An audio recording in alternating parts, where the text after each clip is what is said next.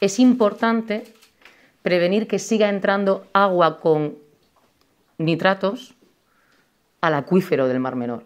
Pero es más importante que no entre agua del acuífero al Mar Menor. Es cierto que se va a actuar con la rambla del albujón, el bombeo, para que no se siga rompiendo, para redimensionarlo, para que no entre agua cargada de nitratos al acuífero. Eso es importante, es necesario, por supuesto. Pero todos sabemos, y son informes del Ministerio, de sus técnicos, que el principal problema viene del freático y del acuífero, y que si no se rebaja el acuífero, sigue llegando agua contaminada al Mar Menor cada día, cada minuto, cada segundo. Y que si eso no se frena, este verano va a ser mucho peor que el verano pasado.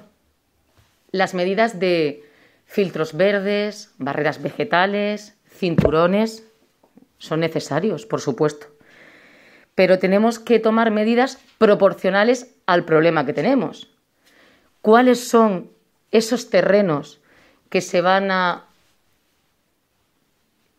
transformar en barreras vegetales, en filtros verdes, en cinturones?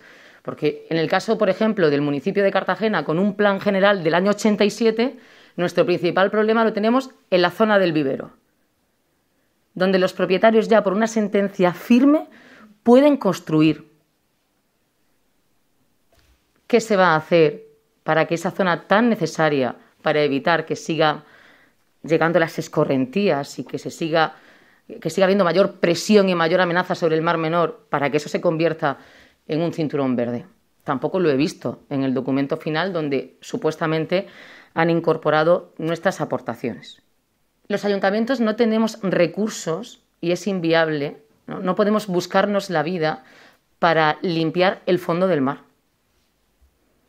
No podemos buscarnos la vida para limpiar el fondo del mar. Nuestra competencia es mantener las playas en la mejor situación de limpieza, de higiene y de salubridad. Pero nuestra competencia no es limpiar el fondo del mar. No podemos hacerlo. Es verdad que ha dicho el alcalde de los Alcázares, está dispuesto a hacer una prueba piloto, una experiencia de extracción que ahora le han parado por algún permiso. El Ayuntamiento de Cartagena ha sacado a licitación el proyecto de retirada de fangos y de secos. Si todos queremos ayudar, incluso por inacción de otra administración y no teniendo las competencias. Pero no podemos seguir buscándonos la vida para limpiar el fondo del mar es positivo, por supuesto, que se actúe en las ramblas, que se actúe en las balsas eh, mineras en desuso, por supuesto. Eh, es muy positivo que se actúe en interceptores de redes de pluviales, por supuesto.